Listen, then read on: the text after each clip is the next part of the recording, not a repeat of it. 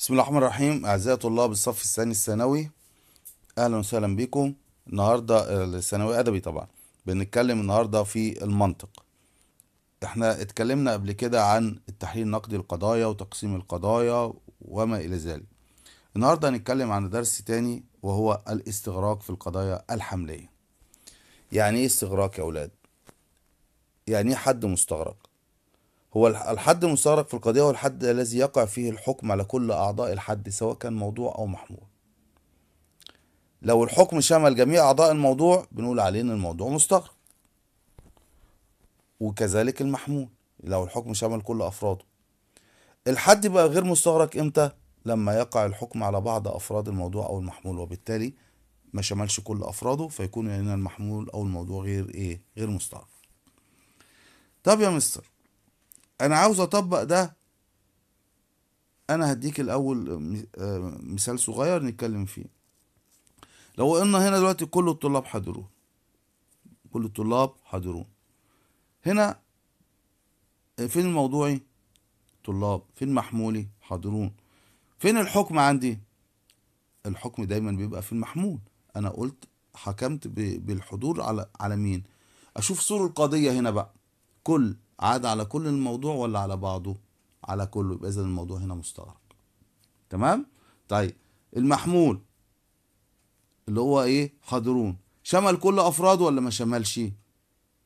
أنا قلت هما الحاضرين بس الطلاب في المدرسة ولا طلاب ومدرسين وإدارة وعمال وسواقين و إلى صح؟ صح. يبقى ما شملش كل أفراده. إنما شمل إيه؟ بيتكلم بس عن مين؟ عن الطلاب. اذا هناك المستغرق. تمام؟ طيب. أنا هديك قاعدة مهمة جدا ناخدها من الأول عشان نبقى إحنا عارفين. القضايا الكلية. تستغرق الموضوع. يبقى سواء كان بقى كلية موجبه أو كلية سالبة. القضايا الكلية تستغرق الموضوع. والقضايا السالبة سواء برضو كلية أو جزئية تستغرق المحمول. تمام؟ ده قاعدة نمشي عليها. نطبق ده بقى يا أولاد على القضايا الأربعة اللي عندي. نمسك القضية الكلية الموجبه لو قلت كل الجنود أبطال هتلاقي موضوعها مستغرق ومحمولها غير مستغرق. يبقى اذا هنا خد بالك أهو الموضوع الموضوع كل الجنود أبطال الجنود موضوع مستغرق. أبطال محمول غير مستغرق. ما شملش كل افراد نيجي الكلية السالبة. لو قلنا كل الأثرياء ليسوا بخلاء هنا حصل إيه؟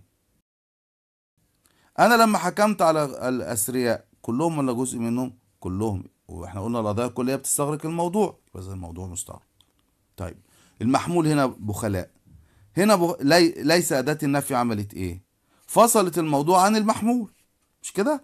كل أفراده ولا جزء منه؟ لا كل أفراده. يبقى اذا هنا المحمول مستغرق. يبقى القضية الكلية السالبة وهي الوحيدة التي تستغرق الموضوع. والإيه؟ والمحمول. ركز في دي. يبقى أنا عندي الكلية الموجبه موضوعها مستغرق محمولها غير مستغرق. الكلية السالبة موضوعها مستغرق ومحمولها مستغرق. نيجي بقى القضية الجزئية الموجبه القضية الجزئية الموجبه لو أنا قلت بعض الطلاب مجتهدون. أنا حكمت على بعض الطلاب. هنا كلهم؟ لا يبقى إذا الموضوع غير مستغرق. المجتهدون طلاب بس؟ ولا طلاب ومدرسين وأطباء ومحامين. و قال لي آه يبقى ما حكمتش عليهم كلهم.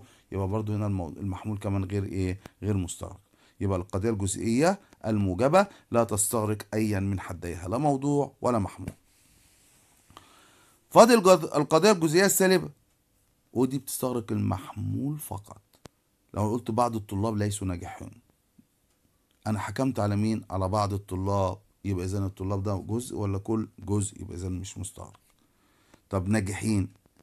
أنا هنا دخلت خرجت كل الطلاب اللي مش ناجحة وخليت الناجحين التانيين. حكمت نفيت عنهم بقيت بعدتهم عنهم.